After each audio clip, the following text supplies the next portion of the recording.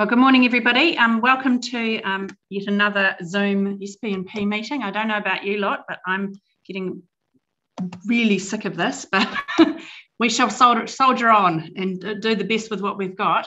So um, this morning, um, obviously welcome everybody, um, elected members, staff, um, visitors and guests and viewers, obviously, because we have a few of them, as I've said before. As Kieran said before, we're hoping to wind up or finish up today about 2.30 or so. We've got um, a meeting which should um, conclude about mid-morning and then five workshops afterwards. So um, without further ado, let's launch into it. Apologies. Um, I did have an apology for uh, Hazel for lateness, but she didn't um, decide to be late after all. Morning, Hazel. Um, and then I do have an apology there for Mariata. So if I could have somebody I'll move. Okay, Roger's moved. Clear second. All, the, all those in favour say aye. Aye. Against carried. Uh, moving then on to disclosure of members' interests. Do I have anybody disclosing in terms of the meeting today? I'm not convinced that there's anybody there with a, a disclosure of interest, but there may well be for the workshop. So we'll address those as we as we get there. Okay, moving on then to late items. I'm not aware of there being any today. So that takes us then to the confirmation of the order of meeting. Again, not um, aware of there being any need for a change. It's pretty straightforward. And if somebody's happy to move that for me.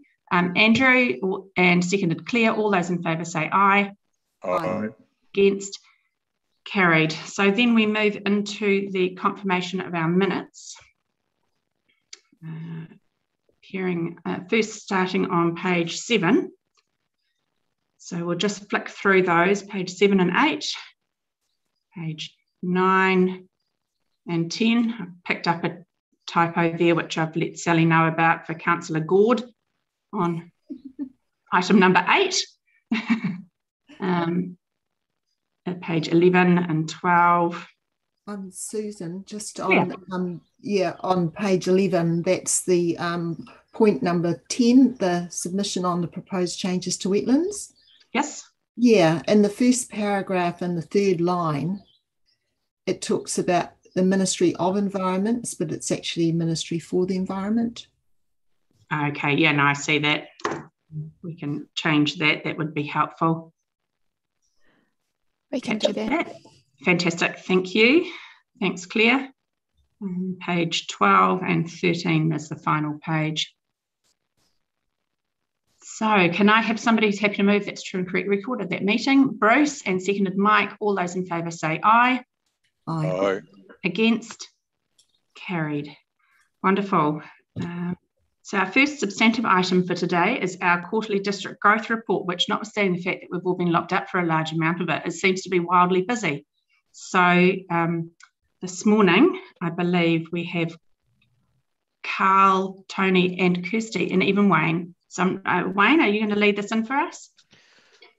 I am indeed. Uh, good morning, uh, Madam Chair. Hopefully everybody can he hear me. And yes, good morning can. to your worship and uh, councillors. I've only we've only got 15 minutes for this item, and um, so we're going to whip through the report pretty quickly. Uh, Kirsty and I will will do that, and then uh, we want to spend a bit of time in relation to the resource management enabling housing supply and other matters amendment bill. And we've got David uh, Topman online as well in respond regard to that. So, um, so just commencing through the report, very comprehensive report that's been put together by the team. Um, it is the uh, presentation to you for that um, quarterly report and it involves the first quarter of the 21-22 financial year it involves a period of 1 July through to 30 September. So the purpose of the report is to provide the committee with the quarterly update on the matters relating to growth in, uh, in the Waipa district and includes matters arising at a national, regional and at the district level. Um, there are a number of appendices, as you can see in the executive summary, that are attached um, to the report and set out.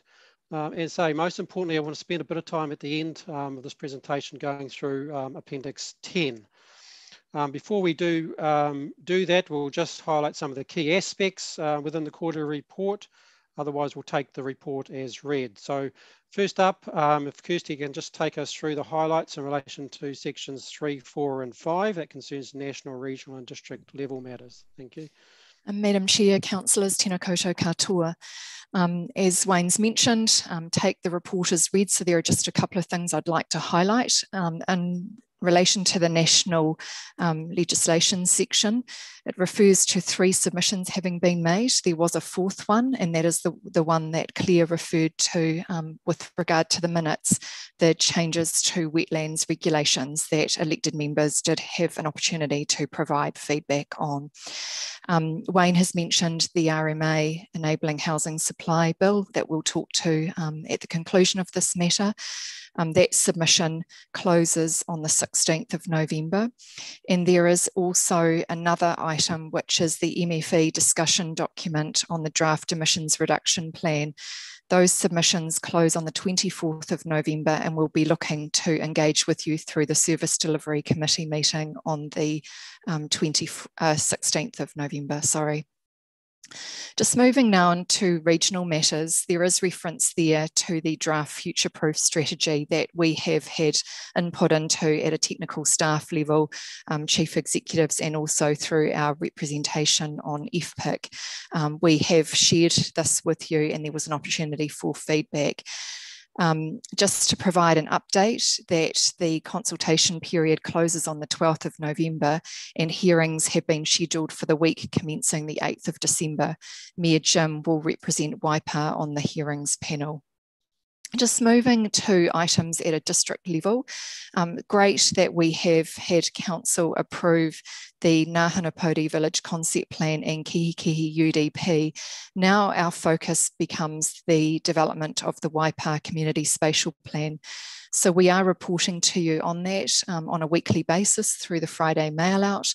We are also engaging with you um, through monthly strategic planning and policy committee meetings, whether that be formal or informal reporting. And there is a workshop later today um, to provide you with an update. We look forward to sharing with you where we're at on that. Um, so now I'd just like to hand back to Wayne. Thank you.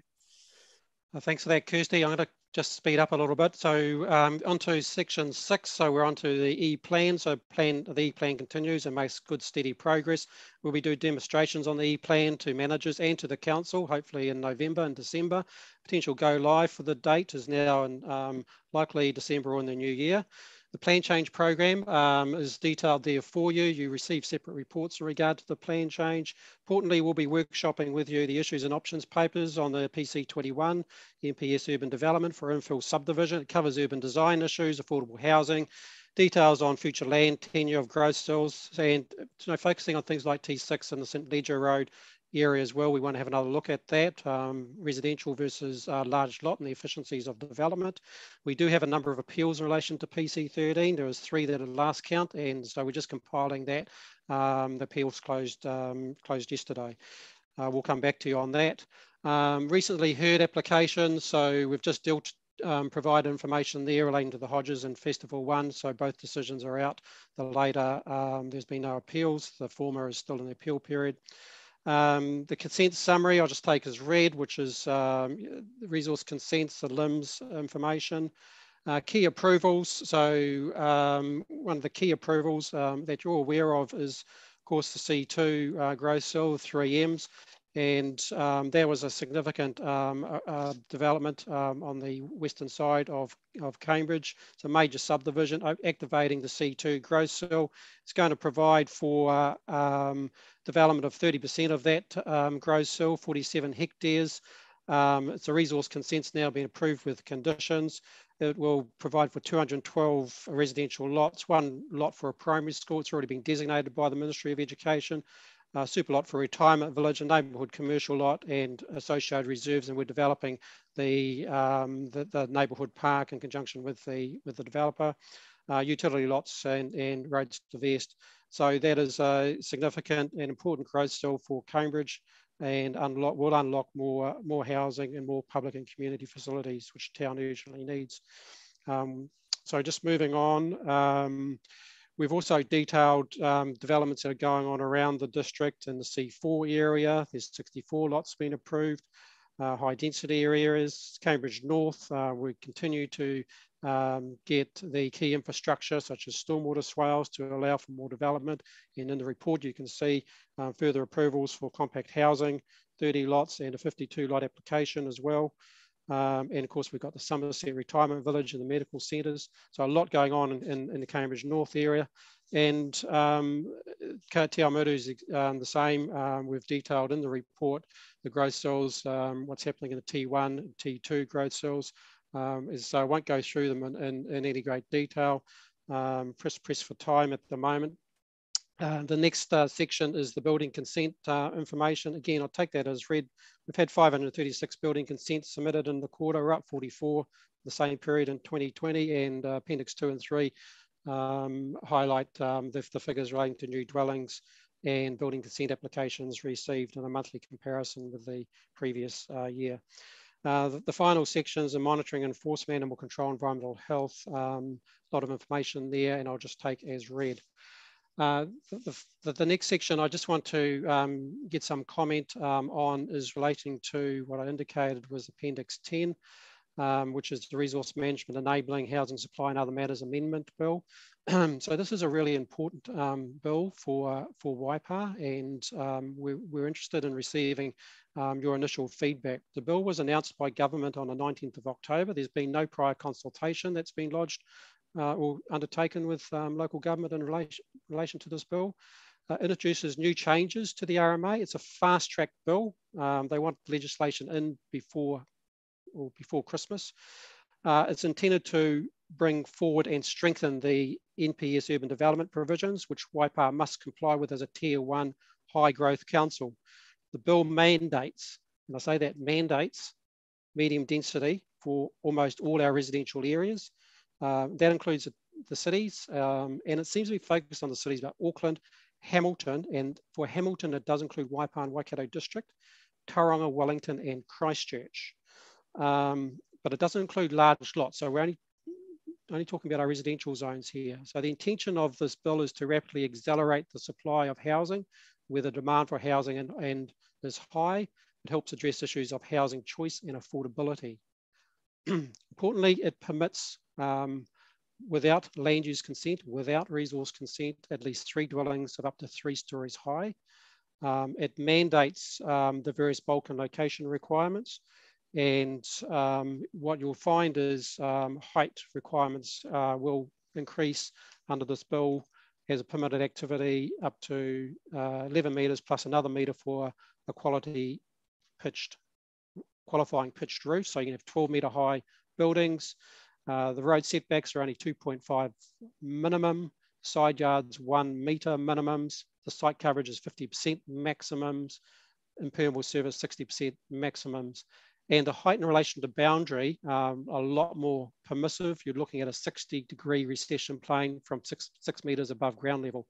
That's compared to what we have now, which is probably more in the 45 degrees or 28 degrees, um, depending on the sun angles, and 2.7 meters above boundary. So a lot more denser, a lot more closer, um, a lot, a lot more um, higher than what we have, and um, the possibility, and also reduced outdoor living areas. Um, there's no minimum lots for subdivision, no minimum lot sizes for subdivision. Subdivision still will be required. Um, so that's sort of the nub of what the bill is driving at um, we must undertake, so this again is a mandate on us to undertake a plan change to introduce these medium density residential standards, um, including any changes to our financial contributions to cover the cost of infrastructure upgrades. We must notify that by uh, the 20th of August next year, that plan change, if the bill is, um, uh, proceeds into legislation this year. Um, so we've got to prepare that plan change. We do the public notice. We go out and do the, the submissions and further submissions. We must appoint an independent hearing panel um, to make the recommendations uh, to, to yourselves as council.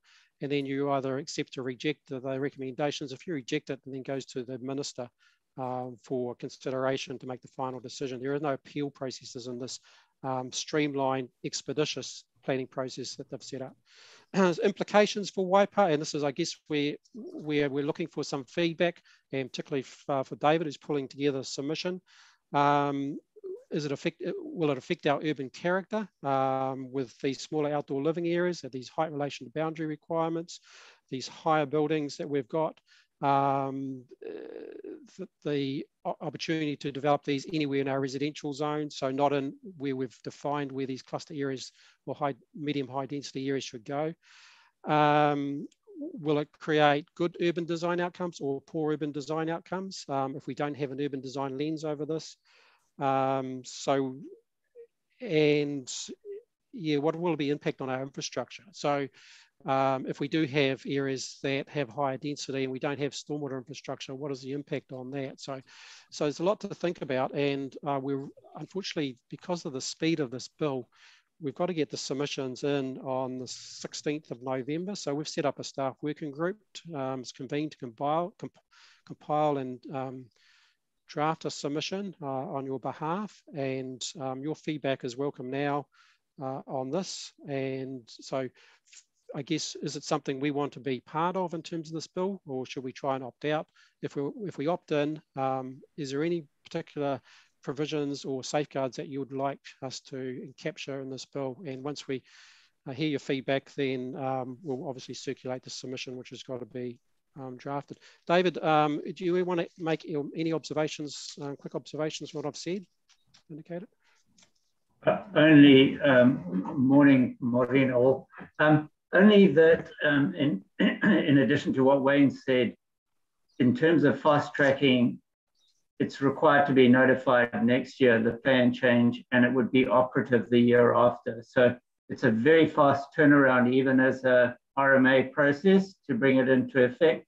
And what they're talking about is the NPS urban development, the national policy statement came into effect in 2024. This is bringing it forward by a year and it's spreading that medium density everywhere within those tier one urban environments. And I think the challenge for us is, are we a tier one urban environment in the in the first instance? Because it's clearly targeting cities, and we're not a city. Um, that would be uh, a position. But clearly, as it's written, the bill says Waipa and Waikato District are part of the Hamilton Tier 1 urban environment.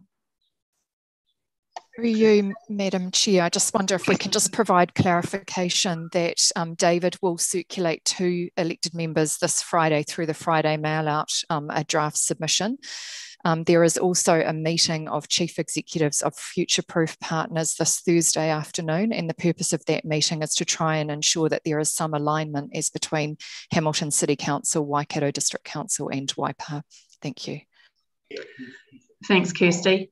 Uh, look, lots of feedback, I'm sure. Well, how about we go uh, Claire, Roger, Jim, and then Marcus? Yeah, thanks um, very much. Um, yeah, I was a bit um, shocked to see this um, passed or yeah proposed as without any consultation with local government. Like I thought that any legislation that central government does, isn't there some sort of step where they had to say, how does this affect local government, and do an assessment on that? And it looks like they've skipped that step because um, I understand from what Gary circulated on Friday that actually using brownfield um, sort of intensification for, um, for for housing is actually more expensive and puts a lot of pressure both on our existing infrastructure and on how we can manage stormwater adequately generally. Um, so if we were able to opt out at the time being, I'd I think that would be great because the feedback I get from my community sitting on the resource consent um, hearings panels is that they want to retain the look and feel, the character of their um, urban areas, and to um, open the door to this kind of intensification, higher density of housing is, is, is really going to remove any controls that we have over that. I mean, I note that the purpose of it is to allow councils or require them to better plan for growth. But that planning process doesn't simply mean allowing more housing. It means there's a lot of other things that we need to plan when we're because we're talking about communities. Yeah, so so we do need to plan other things apart from how um, dense we'll we'll um, allow housing. Um, I was also questioning whether or not allowing three stories um, is also going to be suitable for Waipa, um, given that um, uh, my understanding is that it's more expensive to build um, above two stories anyway. So I, I, think affordability is, is probably as important as um, the um, capacity for housing. And I understand too that we do have an adequate supply of in our growth cells for sections. So in fact, um, yeah, it could be argued that we've got those issues covered already and we don't need to be part of this particular amendment. Thank you. Thank you, Claire. Um, yeah, I think you'd probably find a few people around our table who probably agree with you. Roger. Yes, thank you, uh, Madam Chair. Um, uh, first of all, a, a, question, if I could, Wayne.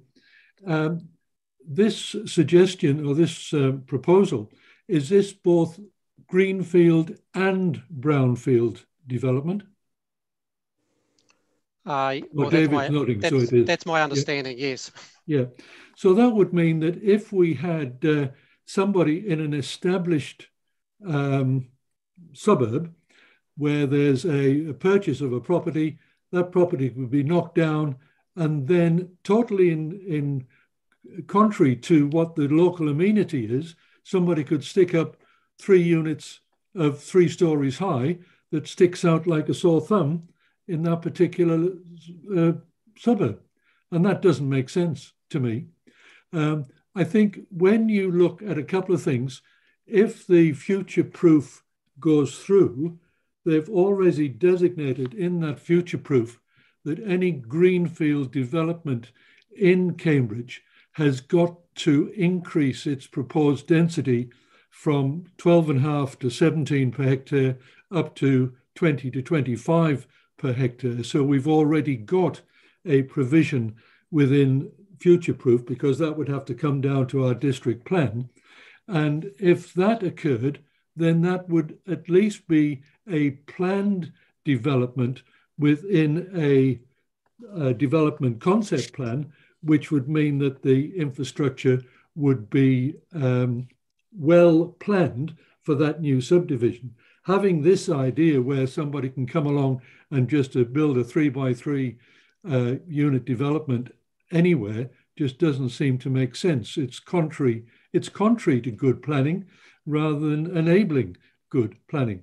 I think we're also seeing that in some of the developments, and particularly C4 is a great example, where in there they've got 64 uh, low density units, but an extra 36 high density units. So that higher density is occurring under our current district plan anyway. So I don't see the need to have this, what to my mind is a bit of uncontrolled uh, higher density planning occurring. So I would be uh, I'd be against that uh, against that concept.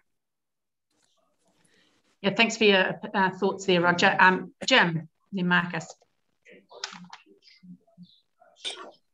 Yes, thanks, Madam Chair. Look, I, I think this is another knee-jerk reaction by central government that hasn't thought the uh, the problems through. And look, we all appreciate that, that we need higher density um, um, developments, but in the in the most appropriate place. So, look, I agree with Claire and Roger's comments. Um, and in terms of spoiling our existing amenity values within our residential areas, this is almost guaranteed to do that.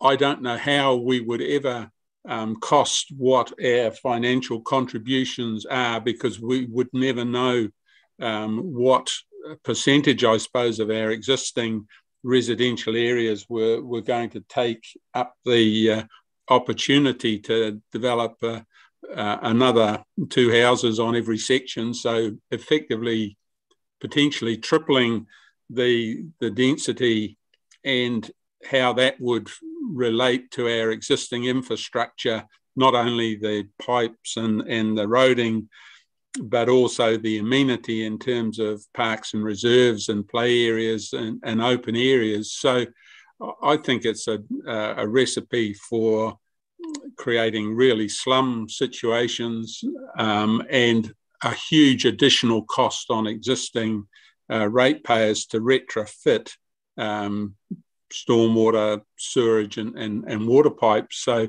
I think it's totally inappropriate. Um, whether we can get out of it just simply by uh, getting Waipa out of the uh, uh the proposed uh, reform in terms of the uh, national policy statement or not, I don't know. But if we are still rolled into it, then I think we should be ob- objecting strenuously um, to it. And it's almost a case where uh, if you object, if you're a neighbour to all of a sudden being overshadowed, you're accused of a NIMBY and not in my backyard. We all appreciate that we need uh, additional density, but the moment it goes next door to me, we don't want it.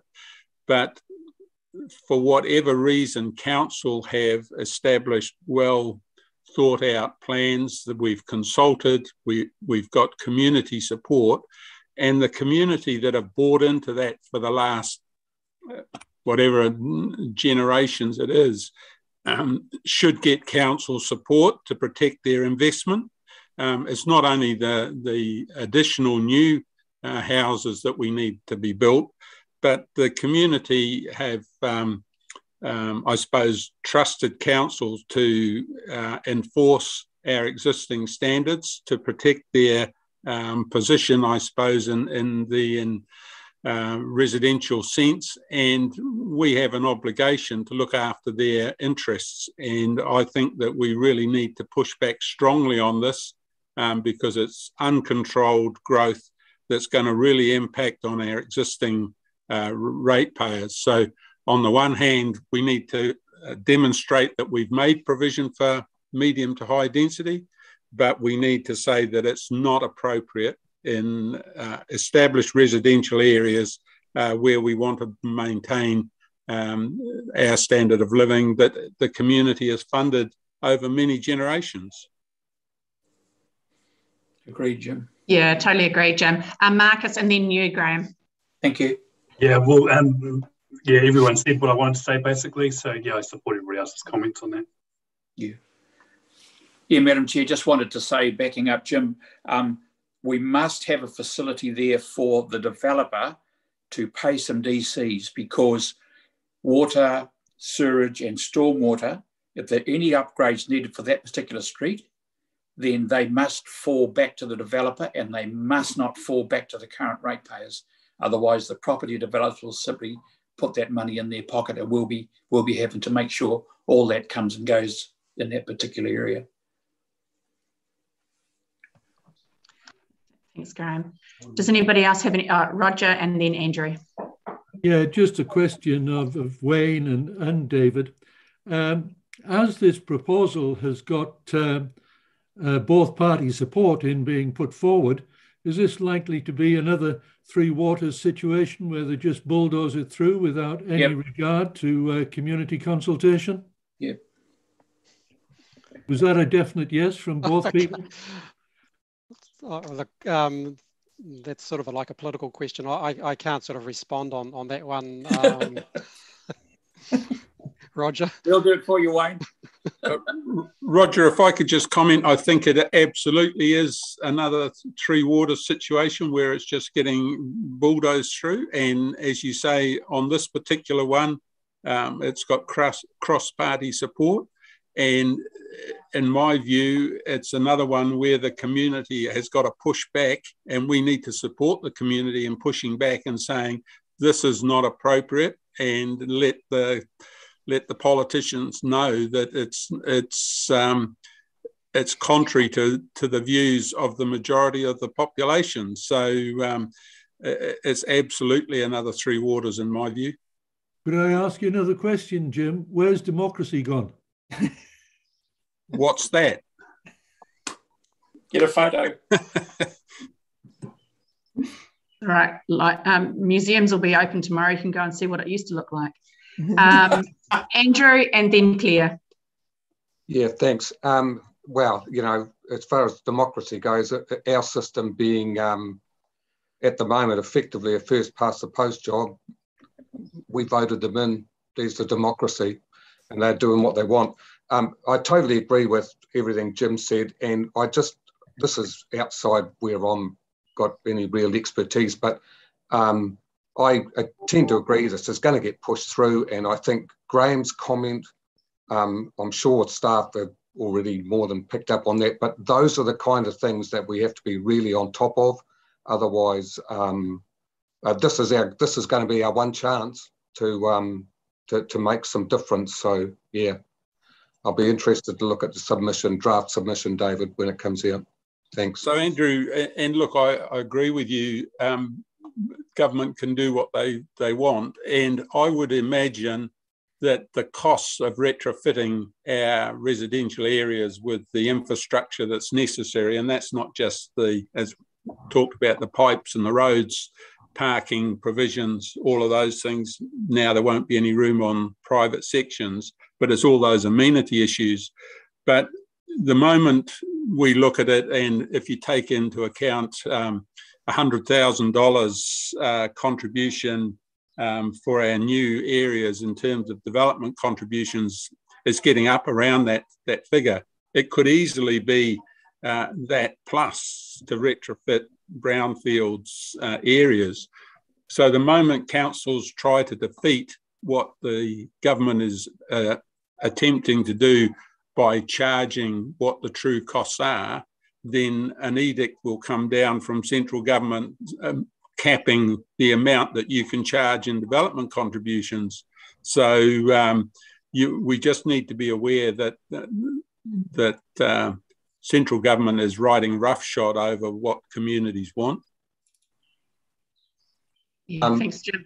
Yeah, look, thanks, Jim. I, I, I actually totally agree with you. And to me, um, this is another very ham-fisted attempt to solve our housing crisis. Mm. It's not going to, um, because as Clare has already pointed out, it, this is not going to create affordable housing. Um, it, it's because it's going to be so expensive to um, first initially buy a property, knock down, then put three three-story houses up. Um, it's ridiculous. Um, no more ridiculous than uh, in, instructing councils to um, create more land for development. That was never going to create affordable housing either. Um, I, I, would hope sincerely that this is a is a political idea rather than one that's come from people who are meant to know what they're doing, i.e., the um, uh, the, the, the actual bureaucrats. Um, and in that in that sense, I think this is quite different to the Three Waters. For me, it is uh, quite different. Um, it's going to get pushed through in the same way, but the idea has got far less merit in my view. Thanks, Andrew. Clare and uh, then Phil. And then Mike, did you have something you want to say as well? Okay, thanks a lot, Susan. Um, I just wanted to clarify, um, Wayne, you mentioned about um, a subdivision resource consent would be needed, but my initial reading of the bill when it was announced, I, I was under the impression that you could actually just go and put three houses up to three stories tall on any section existing and apply for subdivision consent in the future sometime. So you don't actually need to have subdivision consent before you do this. That, that's, I mean, I, am hoping you might be able to clarify that. Perhaps I got that wrong. Uh, I guess I made I made the point that there was no land use consent, so we agreed on that point. Um, but if there is a subdivision required, they do need a subdivision consent, but there are no minimum subdivision standards, as I understand it. David can correct me if I'm wrong. Councillor Clare, that would be my reading of it too.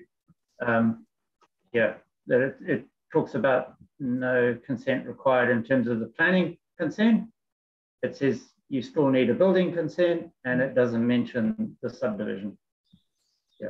So, so my, quite, quite right. My, my understanding consent. of that was that you could build uh, two, if you had already had one house on a property, you could build two rentals. And without any um, subdivision um, standards or consents. Uh, if you wanted to sell one off in the future, then you would have to get a, a subdivision consent, uh, almost like a cross lease, I would imagine. Um, but and we know what problems that, that that has caused in the past. So you can build them as of right, but to get a new title, you'd have to go through a subdivision consent. That was mm-hmm. my reading of it. Yeah, well, that, that's good to have that clarified because I wonder whether or not we could cover that in the submission and just highlight, yeah, what what problems that might create in the future.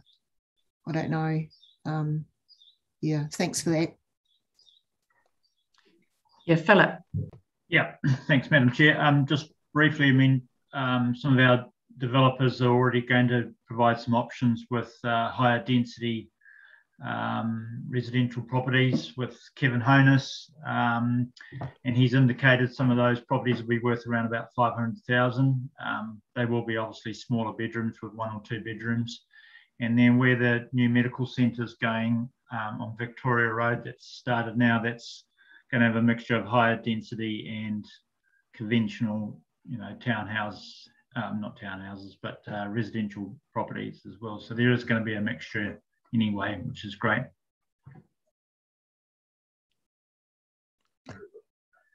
Now, does anybody else have anything they wanted to add beyond beyond the obvious um, opposition expressed? Uh, Mike. Yeah, just um, through the chair, just that cross lease thing. Just be interested to see how that's actually going to work because a cross lease is if it's it can be divided or undivided. So there's a lot of cross lease sections, as we know, in the Waipa, and just how is that going to work with um, this sort of three story by three units? How I'm just good to get some clarity around that because there's a lot of properties that will be in that boat. Not not here and now, but just to bring back. It has yeah. potential to create quite a problem, doesn't it? Mm. Wayne, did you have something you wanted to? Oh, well, we'll have a look at that. But you know, land tenure can be uh, freehold, um, unit title, uh, cross leases. We don't get very many cross leases these days, um, but unit title is a possibility if people do come back and try and retrofit a subdivision around an existing land use uh, activity that's occurred with um, through building consent. So certainly a point we'll have a look at.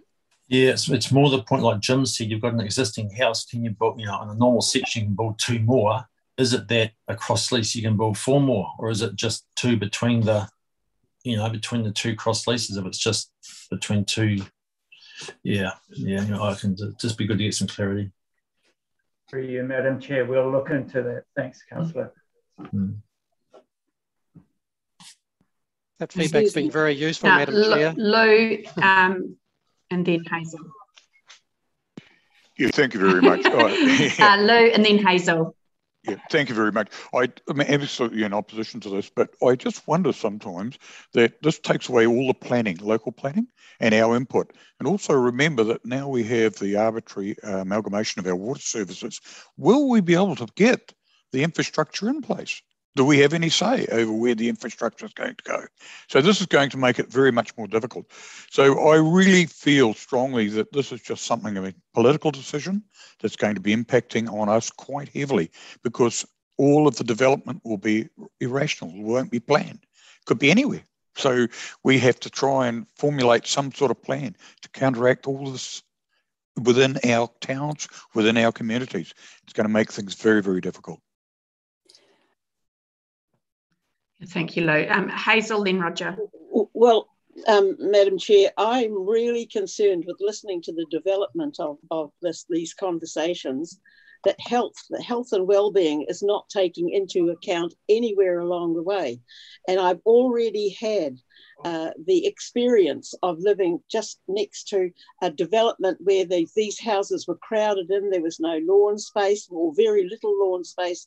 And it wasn't, it isn't very occupiable by families. And I've noticed that two families with children that bought in there have quickly sold and moved on again because this, and so I just want to point out the dramatic effect that any crowding like this has on health and well-being. Thank you. Yeah, thank, thanks, Hazel. Point well made. Roger, then Mike. Yeah, and it's another point of clarification here for from Wayne and, and David. Um, and I hadn't thought about this, but if you had you put you say you've got an existing property and you build two three-story additional properties on that section, could you actually sublet each of those three to multiple tenants?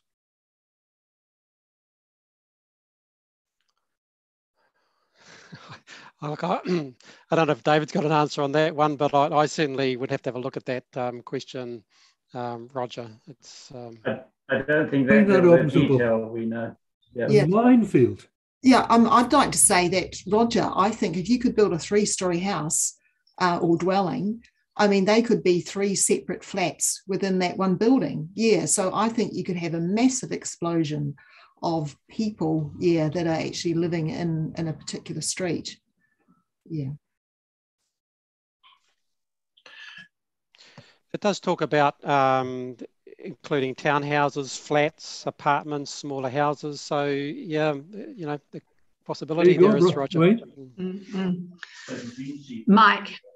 Yeah, um, thank you. Um, just also in terms of legislation versus covenants, and, and I'm, I'm, assuming legislation will trump it, but I'm just thinking of the good people in St Kilda say, um, and as time moves on, those big sections, how how is that going to work? I think the you know, we need some clarity around that too. Like those people have spent a lot of money, and the and the, and they have got sections that can be subdivided. If there's no real minimum subdivision, people could just go and look at making some dollars, which is going to, you know, people have invested, you know, well over a million dollars to buy into a place like that now. Um, so how do you think? I guess the question is, a covenant's going to be very secondary to the legislation, in term, particularly in terms of the brownfield, but also the greenfield going forward. Yeah, it's certainly a, valid point, and I've, I've passed this piece of legislation on to some of the developers, our key developers, to have a look at as well. And um, at this stage, you know, they they do rely on um, covenants, um, as a number of developers do. Um, I didn't see anything, but Dave can correct me if there's anything in this bill about covenants. It was a wider issue for the RMA um, um, review legislation, uh, maybe uh, dealt with under that uh, new piece of legislation rather than rather than this bill at this point in time. David, do you any other comments? Yeah, through you, Madam Chair. Uh, thanks, Wayne. I think you've outlined it pretty well. That would be my understanding too, in that this, while this bill doesn't address it, the issue of covenants. It is something central government are very aware of and are wanting to address in terms of the reforms they have in mind. And yeah, they certainly want to get covenants done away with. Uh, Madam Chair, I think we better wrap it up. I'm just conscious of taking so much time, and you've got a very busy agenda. Um, it was really an indication from the from the councillors um, about our perspective on the submission, and you've provided some um, some fantastic feedback for us to um, pull together the submission. Um, so we'll, we'll do that and we'll circulate it around. Um, the final matter is just that the report, um, the recommendation is a report to be received. So yeah, great. Now I think I think you've yeah, as you've said, you've probably heard us pretty loud and clear. I, I suspect that those um that the proposal might work in some of the more um, built up metropolitan areas um, in larger cities, but I don't think this is Waipa I don't think this is the way people in Waipa want to live. So, yeah, thanks for that. Um, thanks for feedback. Um, do I have I have a recommendation there appearing on page 15 um, to receive um, Wayne's report? I have somebody who's happy to move that for me, please. Lou's happy to move. And Mike will second. All those in favour say aye. Aye. Against? Carried. Lovely. Thanks very much. And thank you very much, Wayne and team. So the the next matter is our Civil Defence Emergency Management Quarterly Report. And one of yours again, Wayne and David Symes. Good morning, David. Morning, Madam Chair, and uh, hello to everyone. Um, yes, so we're um, taking the report as read, but working through um, a few quick um, points here, sort of not wanting to labour the COVID uh, fatigue that I think we're all suffering from, but there is a couple of things within that uh, that I will mention. Um, just on the reduction, bit disappointing, but like many things, the Waikato Regional uh, Resilience Forum was scheduled to be, we were scheduled to host that. So that's a reasonably large forum, but um, uh, that was to be hosted at the Don Rowlands, but hopefully um, we'll be able to get that back in 2022. Um, under readiness, Um, again, um, our training and ongoing face to face exercises again have to be postponed until um, I guess early 2022. Regionally, I guess it has made us look at um, online training and the ability to um, exercise and um, train more via digital or online face to face. So there's a, a project that's been worked through regionally um, and nationally, and we've been part of, of those workshops. So um, there should be some benefit um, out of that again, which we've been push, pushing for anyway. Um, so that's quite a good thing. Again, under readiness.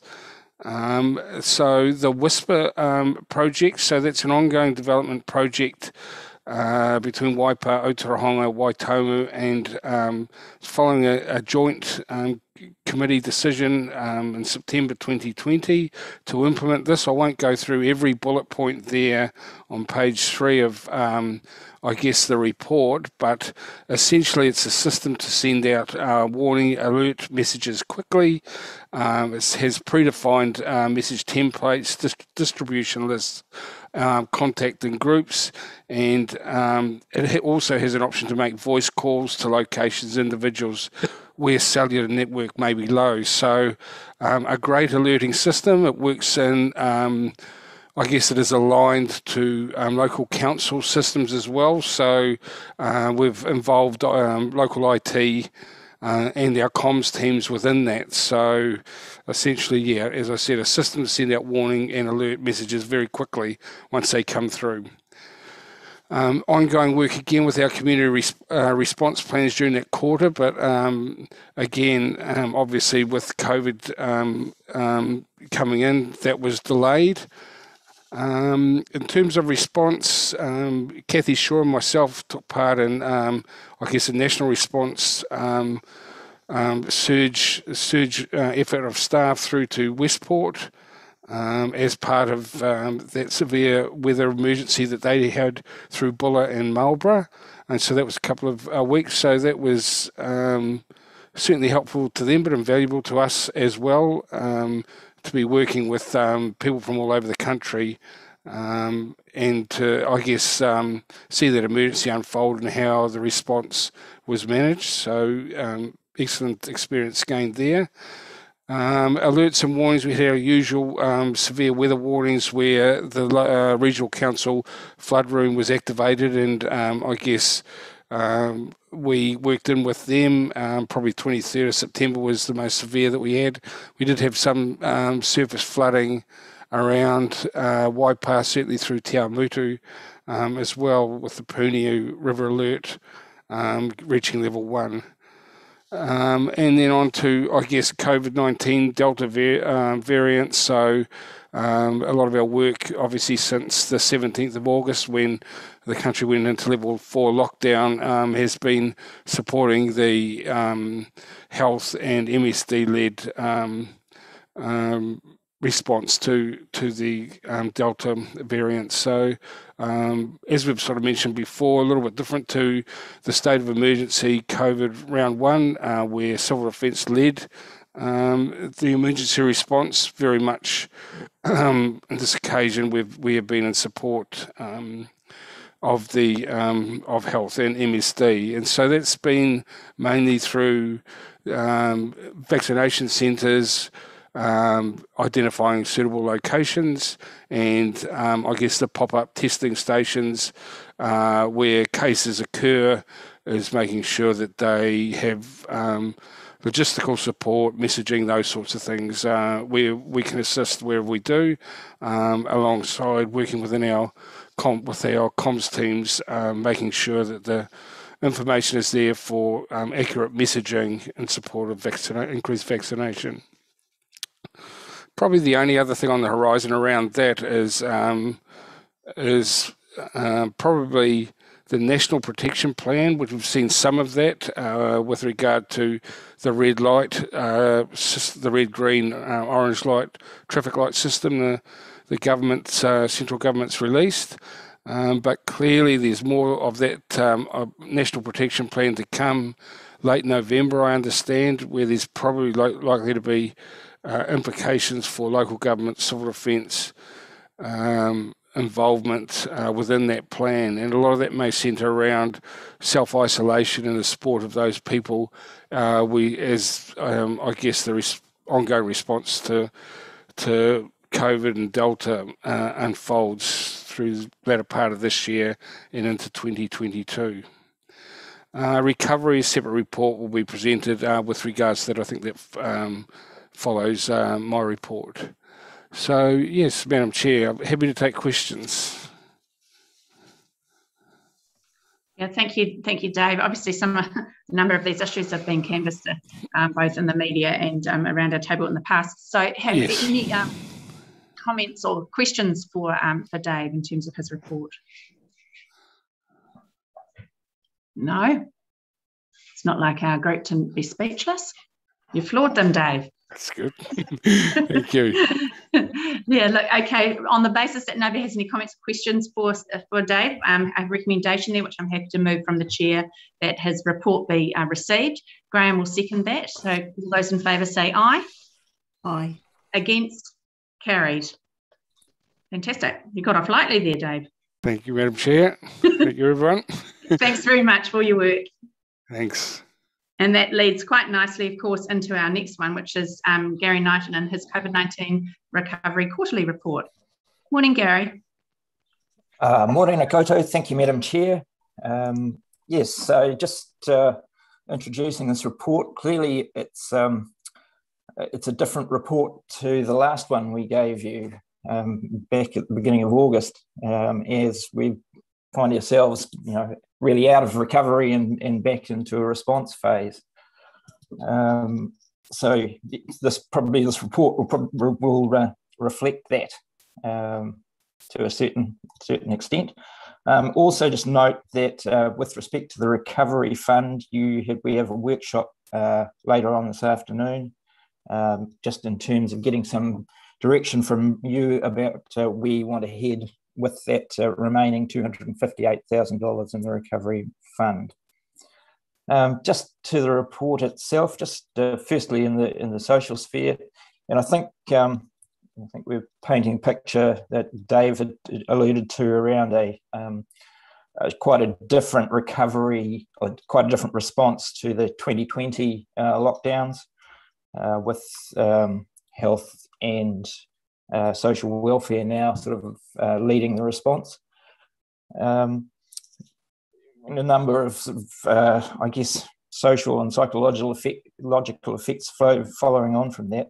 I think um, since the report was written, we've made a lot of progress, and particularly with the community advisors working with the district health board, and uh, I think we've got some good alignment there now, and some uh, working on working on um, supporting them, particularly in the vaccination drive, and uh, also uh, lining up uh, his worship with some of the uh, communication uh, that appeared to be sort of falling off, and so that that that work will now sort of keep us well in, in the link with the area health board.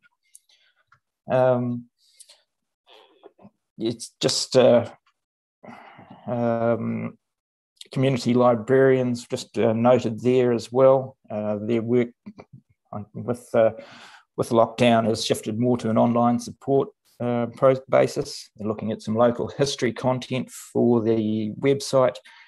Um, and have been, well, we're working with uh, rest homes around dementia patients as well. Um, and they have received some additional funding for teen and children's ebooks um, with respect to the economic environment, um, and note that your next item, you've got a, uh, a report from Infometrics, basically the dated October, um, which I guess looks at the impact of this lockdown on the Waipa economy. And just in short, um, I guess it's it's suggesting that potentially an uneven bounce back. Primary and sec- construction sectors looking quite strong although subject to potential some potential supply chain uh, issues there. However, uh, retail and hospitality and accommodation looking like being the hardest hit. Um, hopefully, uh, yesterday's announcement will at least start to uh, open things up a little in that in that regard. Um, yeah, looking to see how we can uh, support them. And uh, Steve Tritzlink's organised some work with First Retail around the webinar, um, and as a sort of first first line of how we might support them. But uh, again, that might be a discussion you want to pick up on this afternoon in the workshop on the, the fund. So um, that's that's the uh, report in a nutshell. Happy for any questions. Yeah, thanks, Gary. Um, obviously, that's um, it's been some pretty challenging times for a lot of people in our district on a lot of fronts. So, any questions from um, uh, Jim oh, and then Graham? Thank you.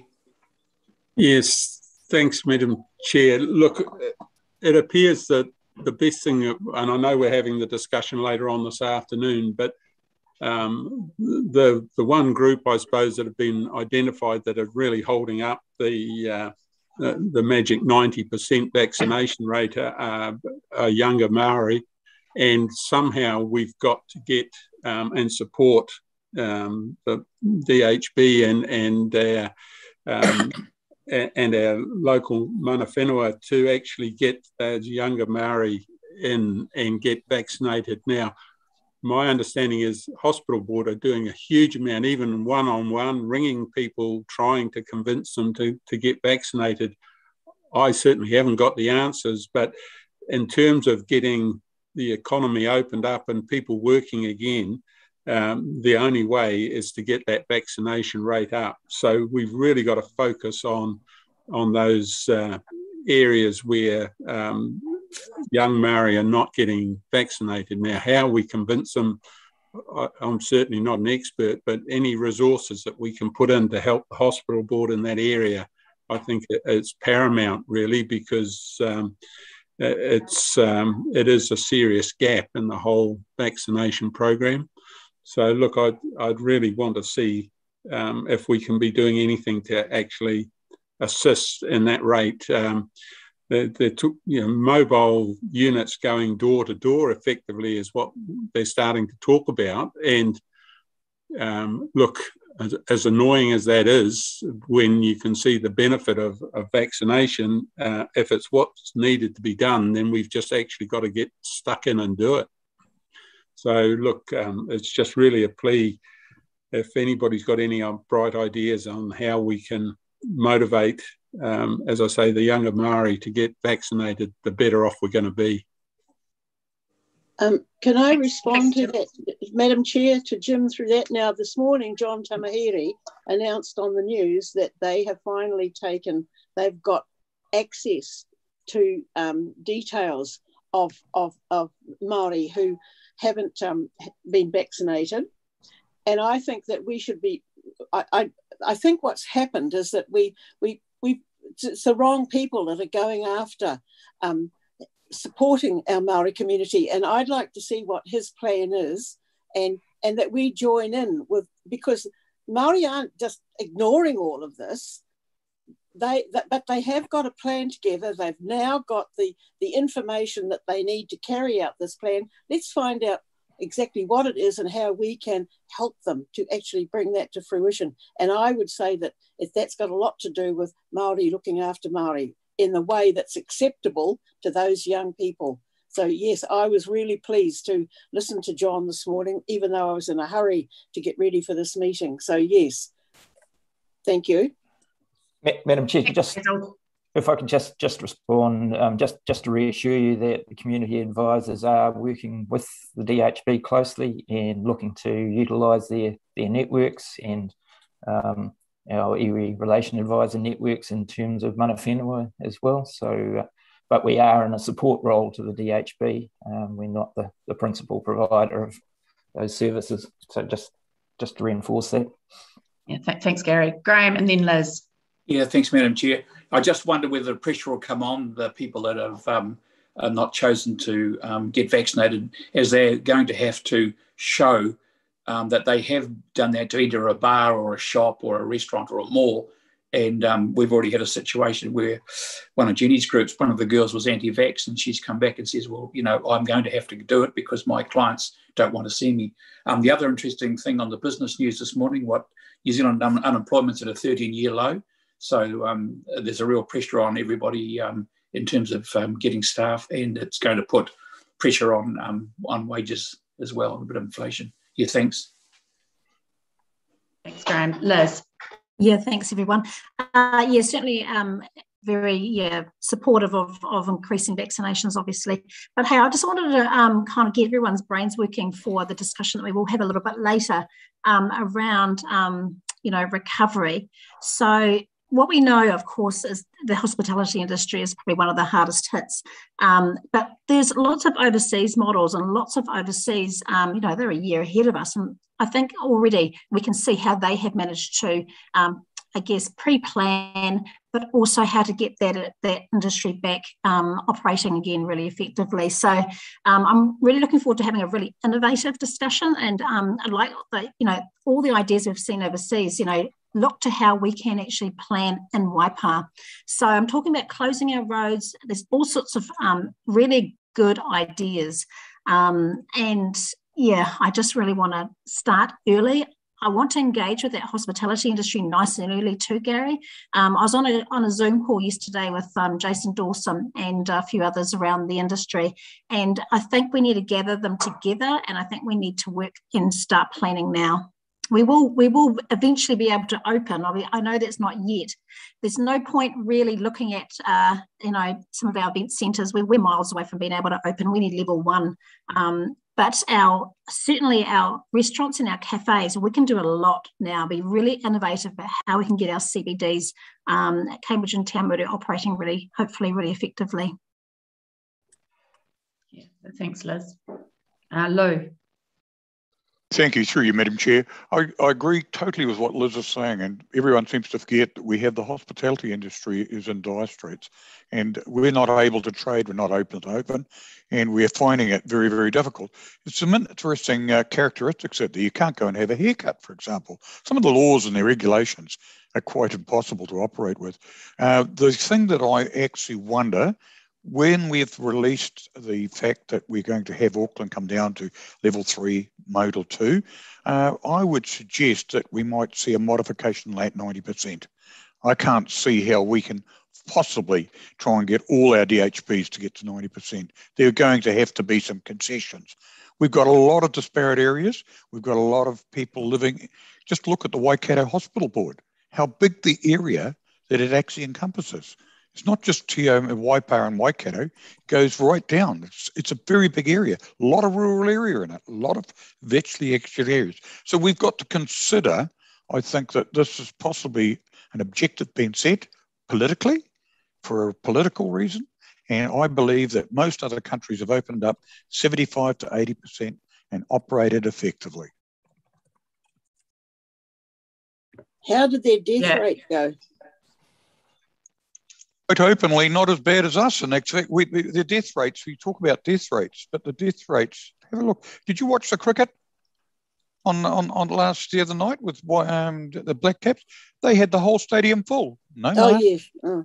And, the, oh. and the All Blacks at Wales, stadium full. It'll be interesting to see the outcome from that. Roger, do you have a comment to make?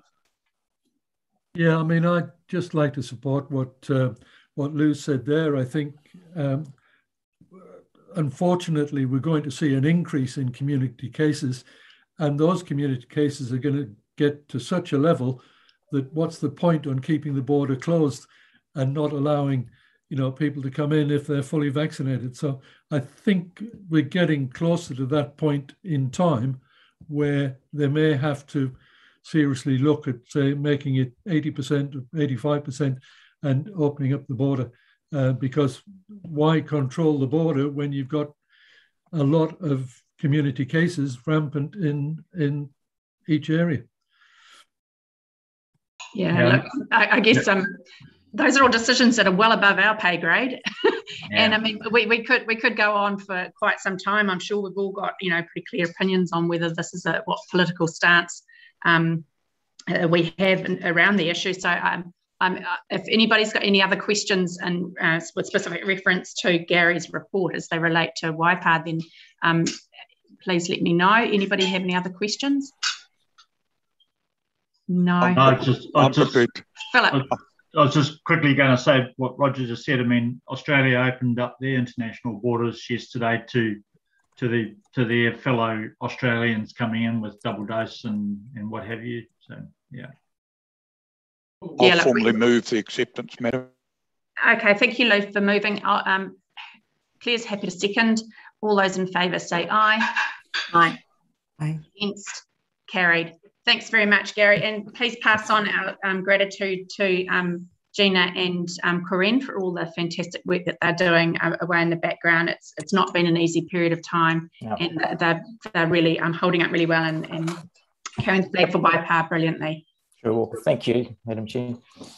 Thank you. Right, so that brings us then on to um, the next item, which is the annual plan. Gosh, we constantly in the cycle, aren't we? So and let me have a look here. Who have we got here for this? Haven. Oh, look, there you are. Hi, Haven. How are you? I'm great. Great.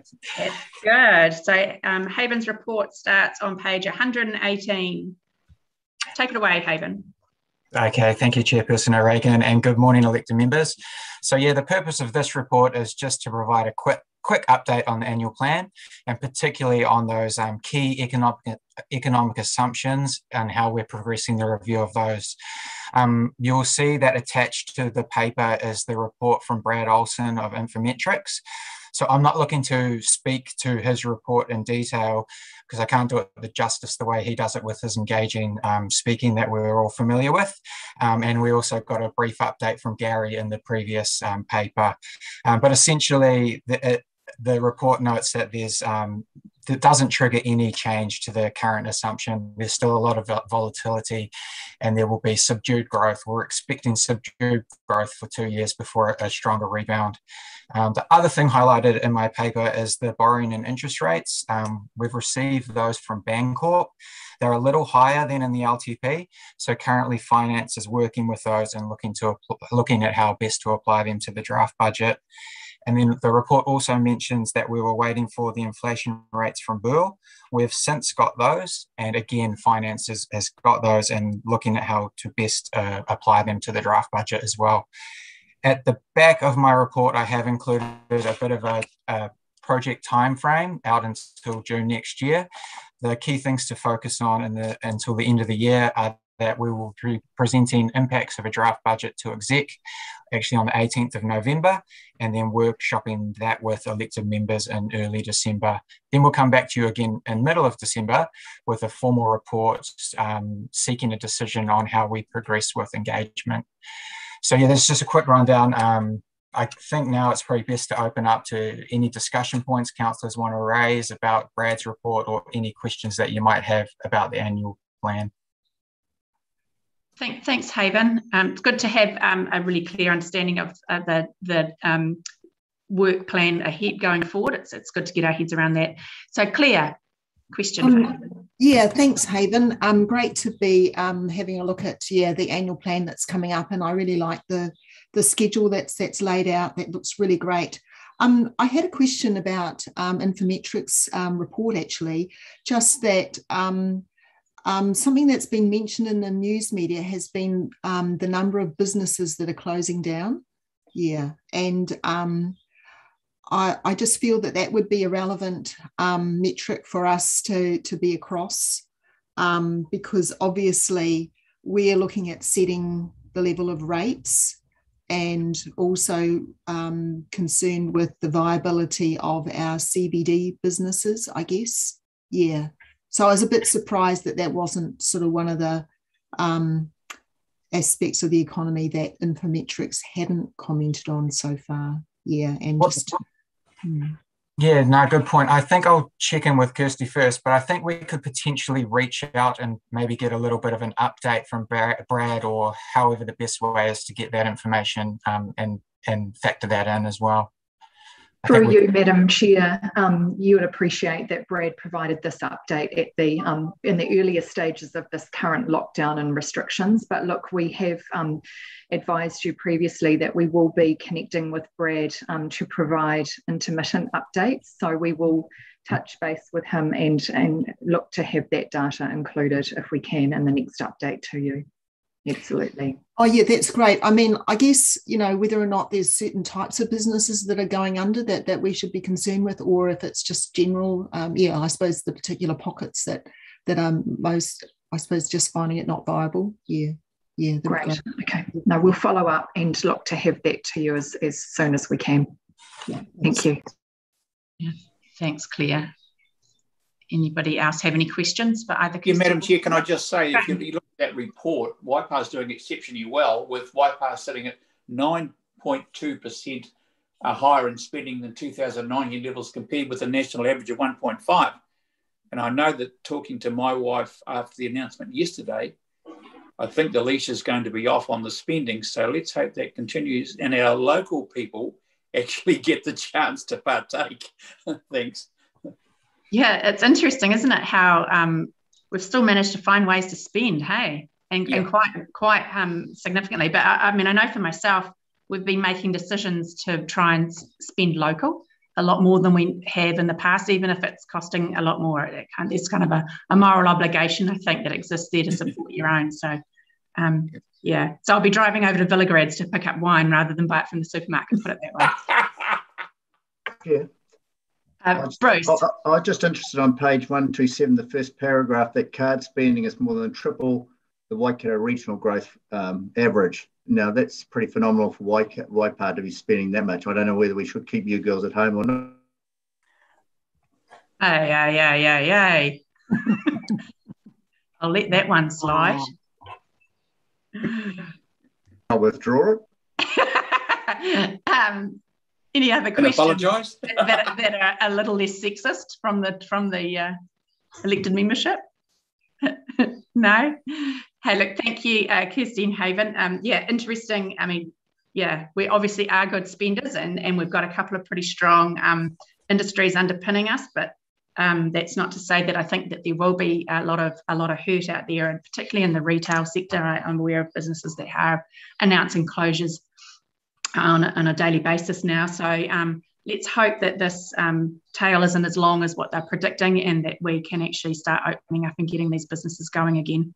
Um, but yeah, thank you for the for your report. Um, I have um, obviously a recommendation there to not only receive Haven's report, but also to receive um, uh, Infometrics update. Can I have somebody move that for me? Clare's mm-hmm. happy to move. Bruce is happy to second. All those in favour say aye. Against? Carried. Fantastic. Thank you. Wonderful. Thank you very much, team. So that takes us to our next item, which is the draft animal nuisance bylaw statement of proposal. And I believe this is yours, Graham. Good morning, Graham. Good morning, Chair. Good morning, everybody. Um, indeed, this is the proposed animal nuisance bylaw.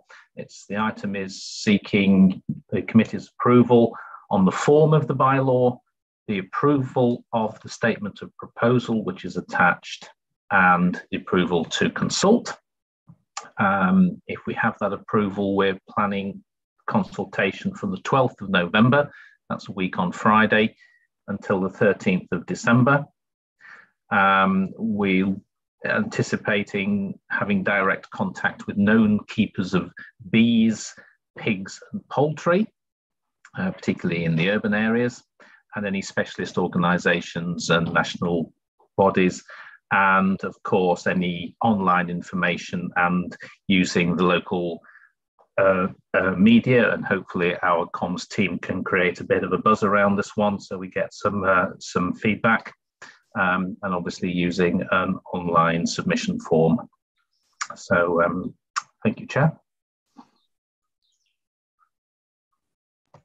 Uh, thanks, Graham. Lou, and then Clare.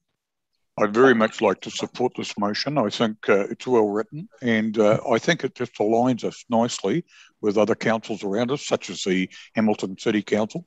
And I think that this just removes uh, from our agenda a law that we had about beehives. This is something I think that uh, we've been a long, slow process, but I would support it very much and congratulate Graham. So I'd happily move this motion. Yep, and I'd like to second it too. Thanks, Lou. Um, thank you, Marcus. Now, Clare, before we put that motion, Clare, you had some comments to make, and then Graham. Thank you. Uh, yeah, yeah. Thank, Thanks, Graham. Yeah, you've done a lovely job. Um, so the question I had was really when you look at the purpose of the bylaw, um, it doesn't mention that it focuses only on animals in urban or residential areas. And so with our rural community, I thought, hey, man, there's going to be a lot of people that are going to be really worried that they're going to get a lot of sort of um, eyes on them, you know, with um, creating nuisance maybe out in the rural zone. So I just thought right. it'd be quite good to have um, under that purpose to to really highlight that it, it's just um, the keeping of those animals in the residential zone or um, urban urban areas, something like that. Yeah, we can certainly look at that, councillor. No problem at all. That's a really good point, Clare. I didn't catch that yeah. one. Yeah. Yeah. It's it's obviously yeah. there within the within the clauses, but obviously yes. the uh, the purpose is a bit of a headline, isn't it? Yeah, yeah, so, and and that would be relevant for both the bylaw and the statement of proposal. Yeah, yeah, yeah. yeah. Cool. Thanks. Thanks, Clare. Graham. Yeah, thanks, uh, Graham. Just on page one three one, the first point about the distance hives can be from property boundaries, uh, a solid two metre fence. And I just wanted to point out the district plan only allows for a 1.8 metre fence. Um, indeed, we have been discussing that. Uh, that exact point has been has been made. My understanding is that this is actually beekeeping best practice, and that the bylaw actually has different has provisions whether the fence is 1.8 meters or more than two meters or or whatever. So um, it, there are either or provisions in there. So our feeling is that we're okay, but one of the or but we're wanting to consult specifically with the apiculturists the professional uh, uh, uh, uh, national bodies. So um, we can get some more feedback on that. And if that needs to be amended through this the submission process then obviously we've got that opportunity. But we we were conscious of your point. Perhaps we, we won't tell the bees. They might be a little bit might have to get air masks to get over the top of that fence they probably aren't aware of the 20 centimetre difference. No. Thanks, Graham. Thank you, Councillor Weber. Any other questions for um, Graham in terms of this draft bylaw and proposal? No, no further questions. So subject to that small amendment that Clare has um, proposed, uh, we have um, there on pages 130, 131, three recommendations that we received the report um, and that we note that it's uh, that the um, that the draft bylaw meets the requirements of Section 155 of the Local Government Act. It's the most appropriate form of uh, bylaw and doesn't give rise to any um, issues under the Bill of Rights. And then the third thing is that we approve the actual draft animal nuisance bylaw and statement of draft proposal. Now, Lou put that, Marcus seconded it. All those in favour say aye. Aye. Against? Carried. Fantastic. Great. Lovely. So, Thank you very much. Thank you, Graham. That brings our meeting uh, formally to a conclusion. And I see, according to our run sheet, we are back um, and running again at um, 11 for our first workshop, um, which is the Waikato Regional